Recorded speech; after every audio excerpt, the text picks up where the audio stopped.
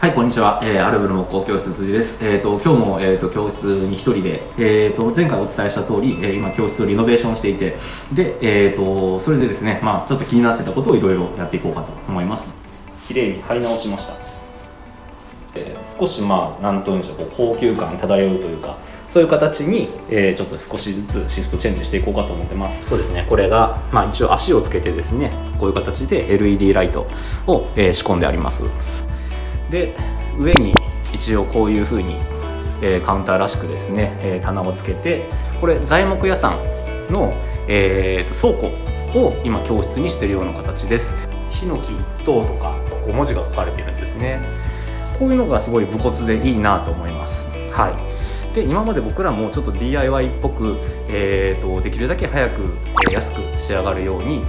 なんとなくこういろんなその合板などの材料を作ってきてたんですけれども今回まあできたらまあそういうものとこういうちょっときれいめなものですねを合わせられたらもっと良くなるかなと思って。で、まあ、こういう形で少しずつリノベーションしているというような形になります、まあ、その辺もちょっと後の設計の話で、えー、いろいろ出てくることなので、まあ、ちょっと改善ですね。ちょっとこの辺りをですねどうしようか検討していこうと思います。この横にですねちょっとまあここに入りきらないものを収納するちょっと目隠しの棚みたいなものを作りたいなと思います。まあ一応ね瀬戸さんが一番くつろげる場所っていうことなので、えー、こういうふうにカップボードを木材で作ったりしました。で、まあ、その塔に合わせてせっかくこう下も張り替えたんでこちらも、まあえー、できたらまあいい材料でいきたいなというふうに考えてます。で、えー、まあいろんなやり方があると思います。ただ武骨な、えーと、インテリアに対して、まあ、武骨なものを、えー、合わせてしまうと、まあ、もちろんトーンは合うんですけれども何と言うんでしょう、えー、少しまあ味が濃いというかお腹いっぱいになっちゃう感じがどうしてもあるんですね、えーと、僕インテリアデザイナーでもないので、あの家具の人間です。で、まあ、そういう形で考えた時にまあこういうふうに上がちょっとなんか山小屋っぽい感じなんだったら、えー、と下は逆に、えー、綺麗にしようかなというふうに考えてます。なので、えー、と今回はちょっと,、えー、と無垢材でいこうかなというふうに考えてます。でこのカップボードなんですけれどもこれは、えーと、奈良材ですね。やっぱりこういうふうに無垢材使うとですね何、えー、と言うんでしょう。やっぱりその見た目の雰囲気とかその感そこからなんかこう放つトーンだったりっていうのがですねやっぱりその合板や、えー、いろんなそのホームセンターで売られてる材料と違う、えー、多分おそらくまこういう木目なんでしょうね。あと手触りとかのものもあると思います。で、えー、その塔に合わせてですねここに棚をあの、どうでしょうこんな風にちょっと作ってやろうかなというふうに考えてます。で、えーとまあ、僕らその例えばオーダーで受けた時にその家に合う、え、家具っていうのを、えどう作るかって言ったら、まあ、まず一一番いいのはその、えー、とご自宅を見に行くという形ですね。で、えー、その方の好みのもの、えー、例えば、まあ、そういう家具だったり、えー、こういうものですね。なんかその中の雰囲気珪藻土が、え塗ってあるとか、え、例えば、まあ、天井僕らはこういう形でむき出しにしてますけれども、まあ、こういう形の、え、センスっていうのをまず、えー、感じ取ります。なので今回はまあちょっと,、えーと、高い、まあ、高めの材料をちょっと使おうかなというふうに考えてるんですけれどもはい。じゃあまず、えーと、その、えーと、材料を使う時の考え方ですね。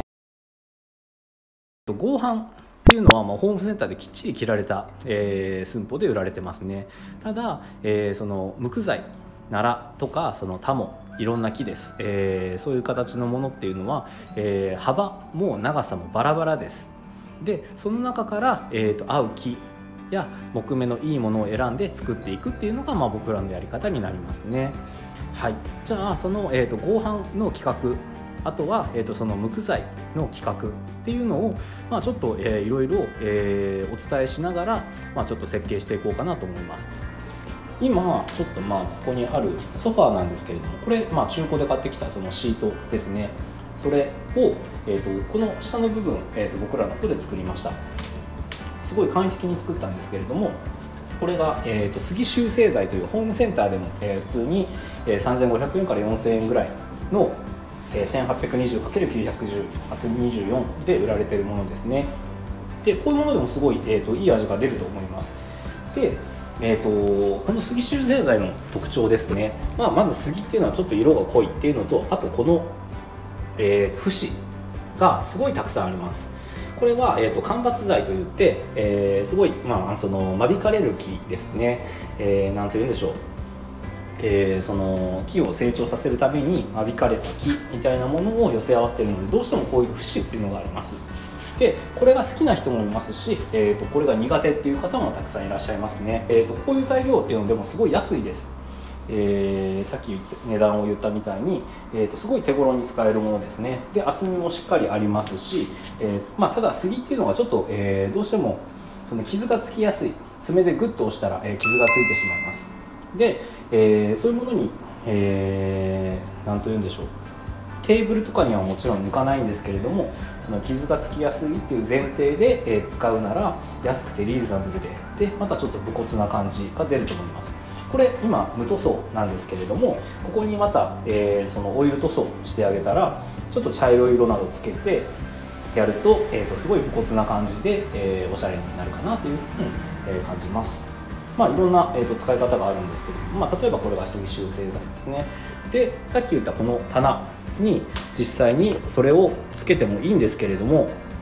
えーと、ちょっとまあできたら、えー、その高級感があるようなカフェみたいな形にしたいので、まあ、家具屋さんですね。家具屋さんとカフェのその中間みたいなところを、まあ、ちょっと僕らは、えー、と狙っているのでちょうどここの棚っていうのを、えー、ちょっと無垢材で作ってやろうかなと思います。でその時、まあ、僕が大事にしているインテリアのポイントとしては、えー、と動線ですね、えー、動線ってまあ何かというと入ってきて、えー、どういうふうに見えるかっていうところが、えー、一つ大事になります。例えば、ね、会員様お客様がこういうふうに入ってこられた時にエントランスあと教室の風景を見ながらこう入ってきた時にまず向こう側がドーンと開けて見えます。で、えーと、この時にですね、えー、できるだけその線ラインを揃えてやると整って見えると。であえて崩す時もあるんですけれどもできるだけですね今こう見えてるところのここカップボードのこの収納があります。ここからまっすぐ横にこう伸ばしてやる。ような形で、えー、考えてます。はい。でですねあんまりこの壁に向かってドーンと来た時にそれが奥行きが分厚いとですねちょっと重たく感じてしまうと。いうことでちょっと薄めのもので考えてます。なので今このカップボードがここにあるので、えー、とこのシェルフですね。棚に合わせたものをこちらにちょっと作ってやるぐらいな、え形で考えてます。でさっき測ったらこちら、えー、横幅が、えーと、1 m でした。で、えー、まあ、こっちも同じく1 m ぐらいにしてやろうかなというふうに考えてます。あんまりここに来るものは大きくない方がいいですね。ただトーンはこちらと揃えたいという形です。でその時に、えーと例えばこの扉を何でいくかといった時に同じくこのステンドグラスでいくか、えー、すりガラスでいくか。あとは、えー、何でしょう。もう全部木で埋めてしまっても構いません。それも全然ありだと思います。まあ、ちょっとトーンが変わっても全体的なこの色ですね。色味。多くの色味みたいなものっていうのは揃うと思います。じゃあどちらがいいかと。そうなった時に今度は入れるものを考えます。見えちゃいけないものか。えー、もしくは見せる収納かみたいなところをちょっと考えます。そうした時に、えー、今度はちょっとここ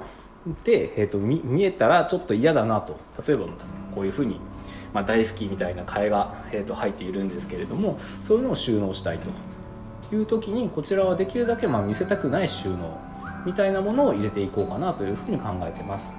で奥行きもまあ基本ここに入っているような、えー、ちょっとこじんまりしたものが入ればいいのでそんなに奥行きはいらないかなと、はい、ただ、えーと、しっかりこうバーンとまず、えーと、エントランスから入ってきて見えるところですので、えー、それが、まあ、見えたらちょっとかっこ悪いということで隠そうかなということが、あのー、思ってます。あとはその収納何をしたいかっていうところをまず決めていくと。えーと、オーダー家具として受注する時にまずそういうところから決めていきます。でその LINE みたいなところは実際は、えーと、そのオーダーいただく、えー、依頼主さん接種さんというのはそこまで考えてなかったりします。ただ結構何を入れたいっていうのはしっかり決まっている場合があります。そこを、えーと、ヒアリングしてですね。で、えー、あともう一つ。ここが、まあ、ミソになるんですけれども入れたいものから、えー、寸法を決めるか。もしくは、えー、その全体から寸法を決めるか。あの、まあ、そこがすごいミソになりますね。それってすごいあの大事なことでですね、えーと、サイズっていうのは、まあ、いくらいくらでも変えれます。変えることができるんですけれどもどっちにも制約はあります、はい、例えば大きいものを入れたいと。このここからここまでの間に入らなくなるだとか。あまりにも大きくてちょっと気持ち悪くなるだとかそういうことが出てきます。寸法から追っていった場合に逆に、えーと、サイズの方に制約が出てくるということもありますし、えー、サイズから追っていった場合に全体ですねここになんとなく900ぐらいかな棚を作りたいと。奥行きはだいたい2 0センチぐらい。でそうした時にですね今度入れたいものが入れなくなる入れれなくなると。で例えばあと1センチ奥行きが深ければあの好きな、えー、器があそこに収納できたのにみたいなことがよくあります。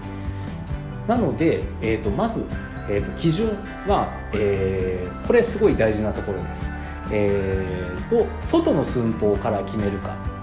内側の入れたいものの寸法から決めるか。これをまず一番初めに大事に考えてください。もう言ったらここさえ決まればあとはトントン拍子で進んでいきます。これがすごい大事なところですね。まず、え考えるところはその2点です。はい。